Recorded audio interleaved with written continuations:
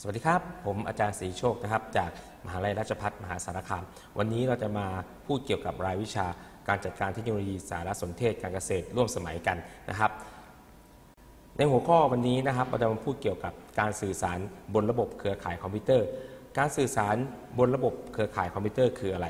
นะครับ เรามาดูกันการสื่อสารเป็นข้อมูลที่ทำการถ่ายทอดความรู้ แนวความคิด ความรู้สึกจากอีกคนหนึ่งไปยังอีกคนหนึ่ง โดยอาศัย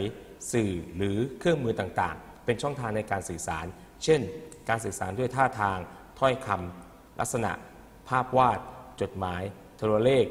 เป็นต้น ต่อมาการสื่อสารข้อมูลได้พัฒนาก้าวหน้าไปอย่างต่อเนื่อง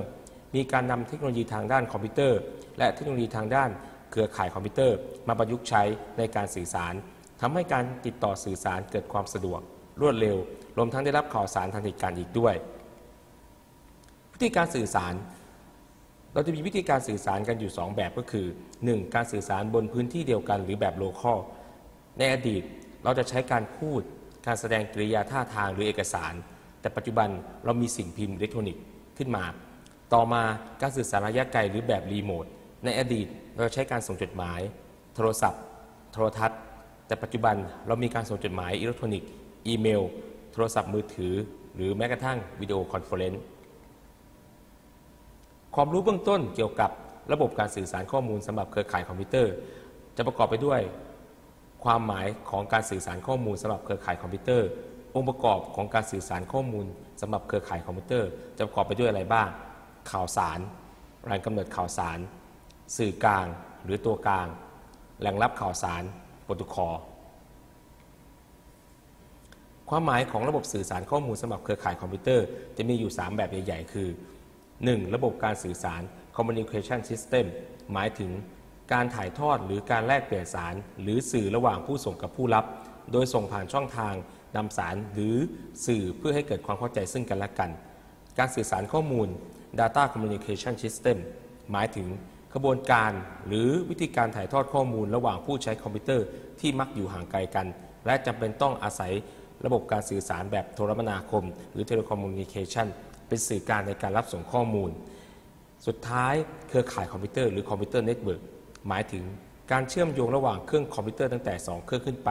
เพื่อให้สามารถสื่อสารและแลกเปลี่ยนข้อมูลรวมกระทั่งแม้ การใช้อุปกรณ์คอมพิวเตอร์ภายในที่อยู่ในระบบเครือข่ายเดียวกัน ร่วมกันเช่นฮาร์ดดิสก์สิ่งพิมพ์ เครื่องพิมพ์ หรือแม้กระทั่งสแกนเนอร์เป็นต้น เรามาดูระบบการสื่อสารข้อมูลสำหรับเครือข่ายคอมพิวเตอร์ หรือเรียกว่า Data Communication of Computer Networks หมายถึงอะไร หมายถึงระบบการถ่ายโอนข้อมูล หรือการแลกเปลี่ยนข้อมูลระหว่างต้นทางหรือปลายทาง โดยใช้อุปกรณ์อิเล็กทรอนิกส์ เช่น โทรศัพท์ โทรสาร โมเด็ม เครื่องคอมพิวเตอร์ อุปกรณ์เครือข่ายต่างๆ ที่ควบคุมและการส่งและการไหลของข้อมูลจากต้นทางไปยังปลายทาง การสื่อสารข้อมูลโดยการส่งผ่านเครือข่ายคอมพิวเตอร์นี้ยกตัวอย่างได้ เช่น การส่งอีเมล การสนทนาผ่านระบบอินเทอร์เน็ต เป็นต้น ต่อมาเรามาดูในส่วนของระบบการสื่อสารข้อมูลสำหรับเครือข่ายคอมพิวเตอร์ มีองค์ประกอบที่สำคัญดังนี้ องค์ประกอบแรกข่าวสารหรือ message ในทางเทคโนโลยีการสื่อสารข่าวสารเนี่ยเป็นข้อมูลที่สำคัญ โดยผู้ส่งจะทำการส่งไปยังผู้รับผ่านระบบการสื่อสาร ซึ่งอยู่ในรูปแบบดังนี้ ข้อมูล Data ข้อมูลเป็นรายละเอียดของสิ่งต่างๆ ที่ถูกสร้างขึ้นมา และถูกจัดเก็บด้วยคอมพิวเตอร์ เช่น ข้อมูลเกี่ยวกับบุคคล ข้อมูลเกี่ยวกับสินค้า ข้อมูลเกี่ยวกับหนังสือ ซึ่งเป็นข้อมูลที่ต้องมีรูปแบบที่แน่นอน ชัดเจน นับจำนวนได้ และสามารถส่งผ่านการสื่อสารได้อย่างรวดเร็ว ข้อความ text อยู่ในรูปแบบของเอกสารหรือตัวอักขระหรือตัวอักษรที่มีรูปแบบที่ไม่แน่นอน และไม่ชัดเจน นับจำนวนได้ค่อนข้างยาก สามารถส่งผ่านระบบสื่อสารด้วยความเร็วในระดับปานกลาง รูปภาพ image อยู่ในรูปภาพของภาพกราฟิกแบบต่างๆว่าจะเป็นภาพนิ่งหรือภาพเคลื่อนไหวเป็นต้น ข้อมูลชนิดนี้ต้องใช้หน่วยความจำค่อนข้างมาก และต้องอาศัยสื่อสำหรับในการเก็บข้อมูล เสียง voice อยู่ในรูปของเสียงพูด เสียงดนตรีหรือเสียงอื่น ๆ ข้อมูลชนิดนี้ไม่สามารถวัดขนาดได้ที่แน่นอน และสามารถส่งผ่านระบบสื่อสารด้วยความเร็วที่ค่อนข้างต่ำต่อมาแหล่งกำเนิดข่าวสารหรือซอสที่เราเรียกว่าผู้ส่งข้อมูลหรือ sender เป็นอุปกรณ์หรือซอฟต์แวร์ที่ทำหน้าที่จัดส่งข้อมูลที่อยู่ต้นทาง โดยข้อมูลจะถูกจัดเก็บ และเตรียมเข้าสู่อุปกรณ์ในการส่งข้อมูล เช่น เครื่องคอมพิวเตอร์ โมเด็ม จานไมโครเวฟ จานดาวเทียม เป็นต้น ต่อมาสื่อกลางหรือตัวกลางหรือ media เป็นอุปกรณ์ที่ทำหน้าที่นำข่าวสารในรูปแบบต่างๆ จากผู้ส่งไปยังผู้รับ ได้แก่ สายไฟ ขดลวด สายเคเบิล สายไฟเบอร์ออปติก เป็นต้น สื่อกลางอาจจะอยู่ในรูปของคลื่นที่ส่งผ่านทางอากาศ เช่นคลื่นไมโครเวฟคลื่นดาวเทียมคลื่นวิทยุเป็นต้น ซึ่งสามารถเชื่อมต่อกับแหล่งกำเนิดข่าวสารและแหล่งรับข่าวสารด้วยกัน หรือเป็นตัวกลางในการรับส่งข้อมูล แหล่งรับข่าวสาร receiver หรือเรียกว่าผู้รับข้อมูล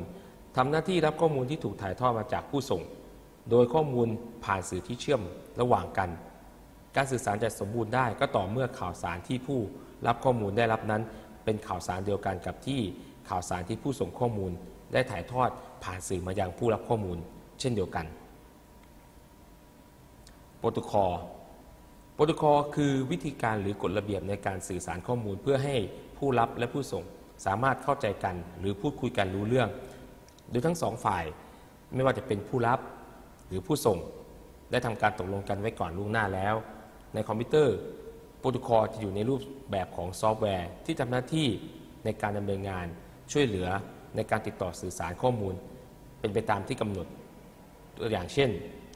HDLC และ TCP/IP เป็นต้น สรุประบบสื่อสารทุกชนิดจะมีองค์ประกอบตามที่กล่าวมาขั้นต้น หากขาดส่วนใดส่วนหนึ่งไปแล้ว ระบบการสื่อสารจะไม่เกิดขึ้นแน่นอน ฉะนั้นถ้าเราต้องการที่จะติดต่อสื่อสารหรือส่งข่าวสาร จะต้องมีผู้ส่งและผู้รับ รวมแม้กระทั่งถึงอุปกรณ์ในการตอบรับ และแม้กระทั่งอุปกรณ์ที่เป็นสื่อกลางในการรับส่งข้อมูล ถึงจะเรียกว่าการสื่อสารได้เริ่มต้นขึ้นแล้วสำหรับในเครือข่ายคอมพิวเตอร์โปรโตคอลจะเป็นตัวกำหนดคุณลักษณะ หรือองค์ประกอบต่างๆ ในการสื่อสาร รูปแบบในการรับส่งวิธีการรับส่งข้อมูล สัญญาในการรับส่งข้อมูล อุปกรณ์ หรือสื่อกางในการรับส่งข้อมูล จะถูกกาหนดและอ้างอิงตำแหน่ง การตรวจสอบความผิดพลาดของข้อมูล ความเร็วในการรับส่งข้อมูล จะทำให้องค์กรที่เกี่ยวข้องได้กำหนดโปรโตคอลที่เรียกว่ามาตรฐานเดียวกัน ในการรับต่อรับส่งข้อมูล เชื่อมการสื่อสารระหว่างระบบเปิดก็คือ OSI หรือ Open System In Connection ซึ่งเป็นต้นแบบแนวคิดในการสร้างเครือข่าย เพื่อแบ่งการดำเนินงานพื้นฐานของเครือข่ายออกเป็นงานย่อย ทำให้การออกแบบการใช้งานระบบสื่อสาร หรือเครือข่าย